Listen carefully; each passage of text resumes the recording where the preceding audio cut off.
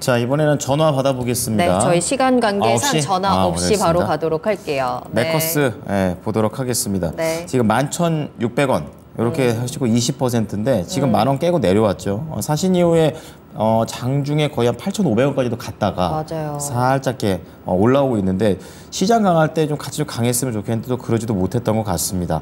자 그렇다면 이 메커스 관련해서 앞으로에 대한 전망 알아보도록 하겠습니다. 팀장님 어떻게 보십니까?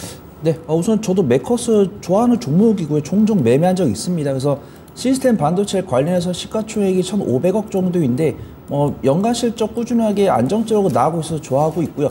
2020년부터 2020년까지 연간 실적이 증가를 했는데 2023년 실적은 못한다기보다는 2022년과 좀 유사하게 나올 것 같습니다.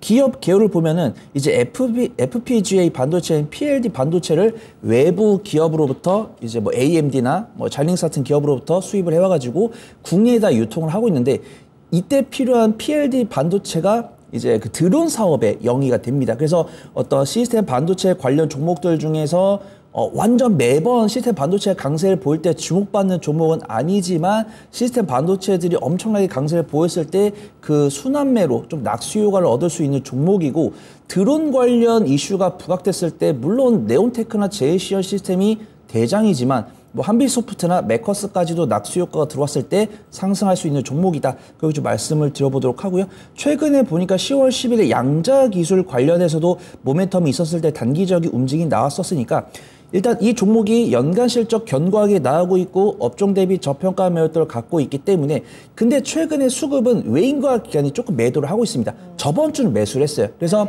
어, 계속 반복해서 말씀드리지만 어떤 FMC 기준금리 동결 이후로 성장주에 대해서 고르게 매수를 하다가 이번 주부터는 외인과 기관이 5개 집중하고 있는데 그 순위에는 들어가지 못한 종목이지만 펀더멘탈 튼튼하니까 들고 가시다가 이제 어떤 시스템 반도체 관련 종목들이 강세를 보이던가 드론 관련 종목들이 강세를 보이던가 양자암호 관련 종목들이 강세를 보일 때는 이 메커스의 움직임을 지켜보시면 안전하게 대응이 되지 않을까 그걸 좀 판단해 보도록 하겠습니다. 제가 손절가는 9,400원 말씀드리고요. 1차 목표가는 11,300원, 2차 목표가는 13,000원 잡고 어, 스윙 관점으로 지켜보시면 안전하게 빠져나갈 수 있는 종목이다. 그렇게 평가해 보도록 하겠습니다. 네, 한번 또 거래도 해보셨다니까 신뢰가 갑니다. 가격 전략 잘 참고하셔서 대응해 보시기 바랍니다. 네, 제